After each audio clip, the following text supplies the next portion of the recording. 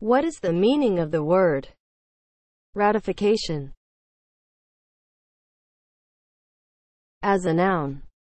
Making something valid by formally ratifying or confirming it. Ratification is spelled R A T I F I C A T I O N. Ratification